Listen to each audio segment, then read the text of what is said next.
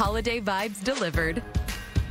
With Auntie Anne's chocolate frosts, snowball nuggets, and watching 25 Days of Christmas on Freeform. So let it snow.